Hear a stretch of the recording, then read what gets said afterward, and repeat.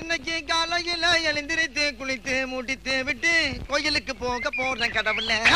திரைப்படத்துக்கு பிறகு கர்ணன் அப்படிங்கிற திரைப்படம் வந்து தனுஷ் சார் ரிலீஸ் ஆயிருக்கு. மிகப்பெரிய வரவேற்பு வந்து பார்த்தீங்கன்னா மக்கள் மத்தியில் வந்து பெற்றிருக்குது. நம்முடைய தானு சாருக்கு வந்து மறுபடியும் மிகப்பெரிய வெற்றி அப்படிங்கிற மாதிரி சொல்லிக்கிறாங்க. அமேசான் பிரைமில் வந்து இருபத்தோரு கோடிக்கு இந்த படத்தை வாங்கியிருக்காங்க அப்படின்னு சொல்கிறாங்க அந்தளவுக்கு இந்த படத்தில் என்ன இருக்குது அப்படிங்கிற விஷயத்தை பார்க்கும்பொழுது மாரி செல்வராஜ் வந்து பரியரும் பெருமாள் அப்படிங்கிற படம் மூலமாக மிகப்பெரிய அழுத்தமான ஒரு கதையை வந்து நம்மகிட்ட சொன்னார். ஒரு சாதாரண இளைஞன் தனக்கு கிடைக்க வேண்டிய அடிப்படை தேவையாகிய கல்வியை தேடி வந்து காலேஜுக்கு போகும்போது அந்த இடத்துல ஜாதி ரீதியாக எவ்வளோ பிரச்சனைகள் வருது அவன் எவ்வளோ சிரமங்கள் படுறான் அப்படிங்கிற விஷயத்தை வந்து ரொம்ப அழுத்தமாக சொல்லப்பட்ட படம் தான் வந்து பரியரும் பெருமாள் அப்படிங்கிற படம் மிகப்பெரிய வெற்றி அடைஞ்சது. ஏன்னா அது பல பேருடைய வாழ்க்கையில் வந்து ரொம்ப நெருக்கமாக இருந்துச்சு அப்படிங்கிறனால அது மிகப்பெரிய வெற்றி அடைஞ்சது. பரியரும் பெருமாள் படத்துடைய வெற்றியை தொடர்ந்து இப்போ கர்ணன் அப்படிங்கிற படத்தை வந்து எடுத்திருக்கிறாப்புல. இல்லை மிகப்பெரிய அளவுக்கு வந்து பார்த்திங்கன்னா ரொம்ப அழுத்தமான ஒரு விஷயத்தை வந்து பதிவு பண்ணிக்கிறாப்புல. அதாவது தன்னுடைய உரிமை வந்து பறிக்கப்படும் பொழுது அந்த உரிமையை தட்டி கேட்குற ஒருத்தனை வந்து பார்த்திங்கன்னா இந்த படத்தில் காட்டியிருக்காரு. பரியரும் பெருமாளை வந்து தட்டி கேட்குறவங்க கிடையாது. ஒதுங்கி போயிட்டு தான் ஜெயிக்கணும்னு ஆசைப்படுறவனை காட்டியிருந்தாங்க. இதில் வந்து தான் உரிமையை வந்து பறிக்கும்போது அதை தட்டி கேட்குற ஒரு சாதாரண ஒரு குடிமகனை வந்து காட்டியிருக்கிறாப்புல. ஆனால் இது வந்து இப்போ கரண்ட்டாக நடக்கிற மாதிரி காட்டாமல் ஆயிரத்தி தொள்ளாயிரத்தி தொண்ணூற்றி ஏழுக்கு முன்னாடி நடந்த விஷயங்களை வந்து சொல்லியிருக்கிறாங்க. இதெல்லாம் வந்து அந்த காலத்தில் நடந்திருக்கு அப்படிங்கிற விஷயம். பேப்பர் கிளிப்பில் அது இதுன்னு பார்க்கும்போது நமக்கு வந்து புலப்படுது.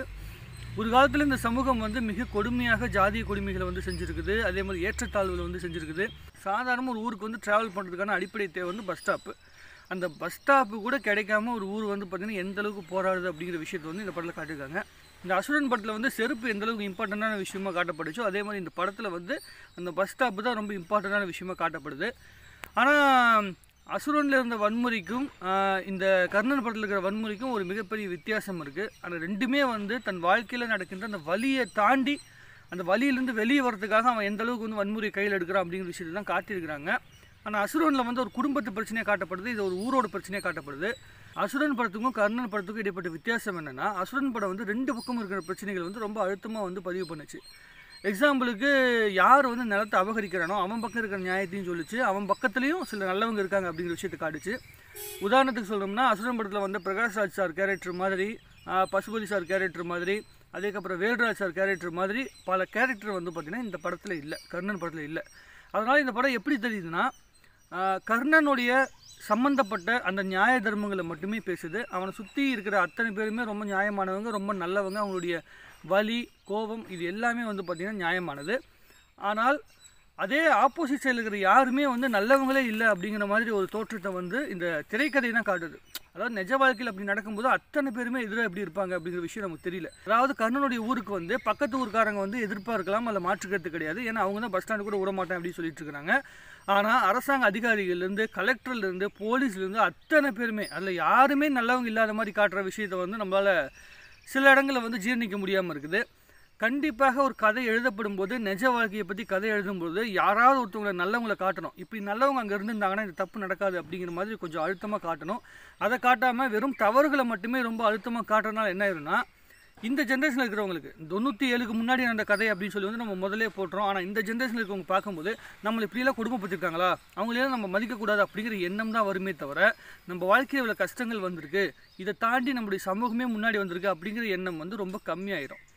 அதுதான் வந்து இங்கே மிகப்பெரிய பிரச்சனையாக இருக்குது. இதை வந்து அடுத்த வருஷத்தில் கண்டிப்பாக மாரி செல்வராஜ் அவர்கள் வந்து கொஞ்சம் சரி பண்ணிப்பார் அப்படிங்கிற விஷயத்த நானும் வந்து எதிர்பார்க்குறேன். மற்றபடி படம் எடுக்கப்பட்ட விதம் கேமரா ஒர்க்காக இருக்கட்டும் மியூசிக்காக இருக்கட்டும் தனுஷ் சாரோட ஆக்டிங்கு குறிப்பாக லால் சாரோட ஆக்டிங்கு இந்த படத்துடைய மிகப்பெரிய பலமே வந்து பார்த்திங்கன்னா லால் சார் தான். அவருடைய கேரக்டர் வந்து ரொம்ப அழுத்தமாக வந்து பார்த்திங்கன்னா பண்ணியிருக்காங்க. அதுக்கப்புறம் லக்ஷ்மியாக இருக்கட்டும் புதுசாக இன்ட்ரடியூஸ் ஆகிருக்க ஹீரோயினாக இருக்கட்டும் கௌரியாக இருக்கட்டும் எல்லாருமே தனக்கு கிடைச்ச கேரக்டர் ரொம்ப அற்புதமாக பண்ணியிருக்கிறாங்க.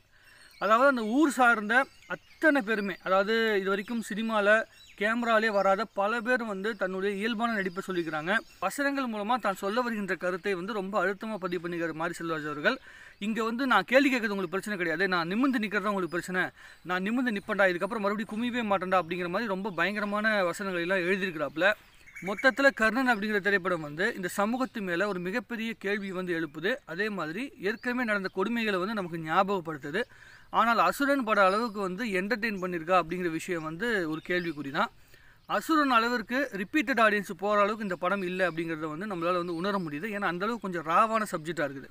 கொஞ்சம் ட்ரையாக படம் போகிறதுனால ஒரு முறைக்கு மேலே கண்டிப்பாக பார்க்க முடியாது. ஆனால் எல்லோரும் பார்க்க வேண்டிய படம் அப்படிங்கிறது எந்த வித மாற்றுக்கிறதும் கிடையாது. என்னுடைய பர்சனல் ஒப்பீனியன்லேருந்து சில கருத்துக்கள் சொல்லணும்னு சொல்லி ஆசைப்பட்றேன்.